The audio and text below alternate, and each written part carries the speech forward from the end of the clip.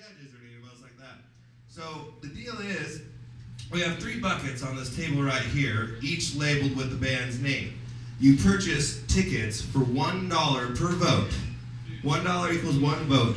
You can buy up to ten votes per person, and then you put your votes in the band that you think deserves to win all the money and go on to the final round at the end of the month.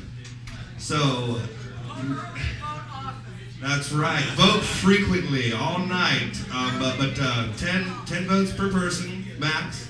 And uh, so I'll be right over here. During the show, you can see me dancing and sitting down and doing all kinds of stuff. I'll sell your votes, get them here.